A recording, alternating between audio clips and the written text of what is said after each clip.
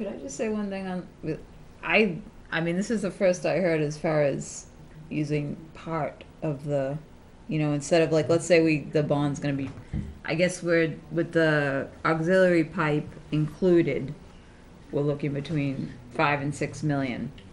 So the plan right now is, it looks like it's gonna be approximately seven hundred and fifty Yeah. thousand.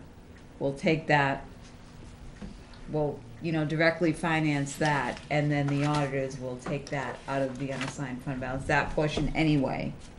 And then the plan was to make that go back onto the bond, but now what you're saying is, if, instead, like, let's say it's five point five million, hmm. so we would perhaps take two million from the unassigned fund and then only finance the three point five. I'm just throwing a a Yeah, number no, of two. I- I think two is probably a minimum. I think probably but the yeah, I'm rational just- way to approach it would be to say, what is the minimum we want to have in the uh, un- un- Right, unassigned well, I fund think that's the major And then concern. subtract that from what we actually have and say, that's the amount we're gonna put aside to reduce this bond. That would be the most rational approach, I think. I think you have a couple issues here, though, you have to be careful, and as Regina's pointed to. The manager specifically stated last night that the quote, seven hundred fifty thousand would come out of the budget. Right. But it was gonna be backfilled by, the- be- Yes. being, being put in the bond. But hold on, Yes. but yes, but hold on to it, because the discussion is gonna be imperative of how this is gonna get funded. I don't think you're gonna have any problem with the voters passing this. I agree What, with what. I do think is gonna be the issue, when you talk about unassigned fund balances, you're talking people around this table that have already paid in prior years. So that's, it's like saying, we're gonna take money that others have had to absorb in their taxes and throw it at a project. I, I only bring that up because I think there's gonna be a couple sides to this issue. Um, Anybody that has been involved with large bonded projects, like the school, for instance, normally accepts the idea that this thing that passes, and I firmly believe it's gonna get to three fifths. I, I don't think it's gonna be an issue at all. Matter of fact, I mean, I'm promoting it, a lot of people are. The, in my mind, I'm thinking a bond, you know, to whatever years that would be, whatever cost. I think, and I'm not, you know, I, I'm just putting it out there because Regina and her board has a big decision, decision around town management. We might be going down a road as a town that might put people in different lines of thinking if we start saying, well, we're gonna pick two million from an unassigned fund balance and we're gonna take the rest and, you know, the thirteen thousand, we're gonna be paying a week for the, the rental, uh, I'm using rental for the, this, the surface. Right. I know tho- those are decisions you have to make, but to your point, Mr. Chairman, I think that's a discussion that's certainly gonna happen once we get the approval to go this route, i.e. the town meeting, then it's gonna go to that. I think that discussion is gonna be open up for, I Right. think Brian makes an excellent comment here.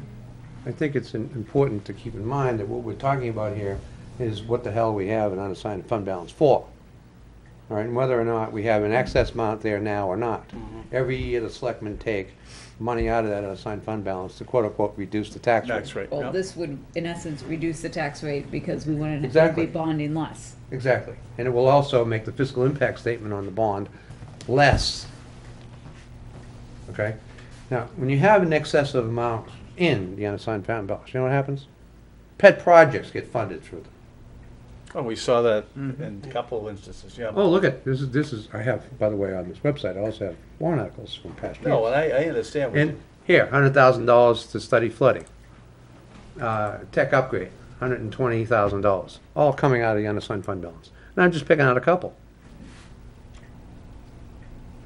There were several in here that were passed last year with the no fiscal impact on it because they were taken out of the unassigned fund balance.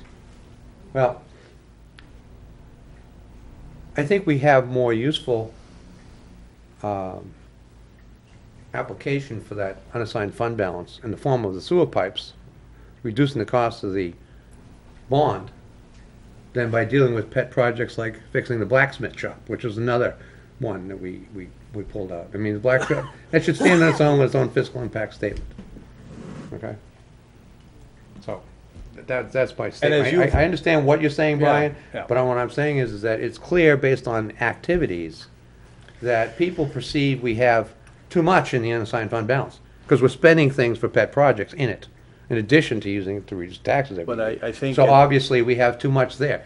And if we have too much there, let's use it for the best possible purpose, which is to get the most important project we have on our plate right now. I think- Get it discounted in terms of the impact on the taxpayer. I, I, I think that point is somewhat relevant, but I think we have to. con- Somewhat?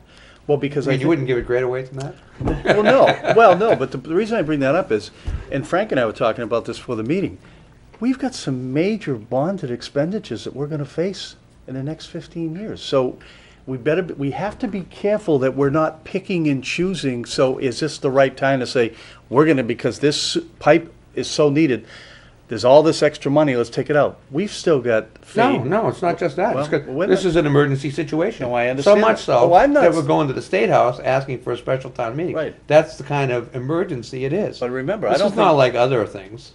No, at but all. I I don't think anybody's, you're absolutely right. We're not saying we, it's not gonna, shouldn't pass. I'm talking about how we fund it. So am I. Because I, I think you've got How we phase use the two. unassigned fund balance. Yeah, well, you've got phase two of the treatment plant coming.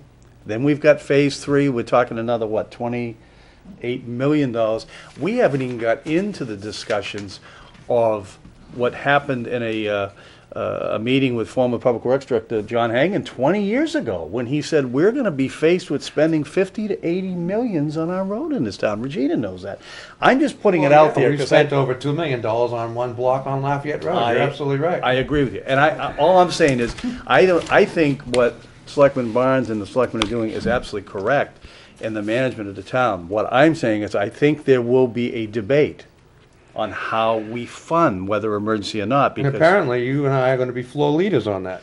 So let's look forward to that. But anyway, I think it's great discussion, I mean, it's Yeah, just, I'm yeah, just it putting is. it out there as an opinion that, I think it's a great discussion too, and I, I sort of agree with both of you because, I mean, one, I don't know what the exact amount in the assigned fund funds is. I just know around six million, mm-hmm. and then we got to figure out, you know, you got to look at everything because we also don't want to be in a position where we don't have anything in that fund. bingo. Well, even that's if exact- it's, even if it's, I mean, the state requires us to have this and this Certain and this, amount. but having the amount in there that we normally have sustained since Manager Welch has been here, it Yeah. does help also on our borrowing rate. Mm-hmm. Be- There you So go. that's all things that, but at the same, t- and I know that discussions I've had with Fred, he also is looking toward, you know, at least being able to do what we normally do at the end of the year and put, you know, some back designated to just offset the tax rate. Sure, absolutely. So, but I think that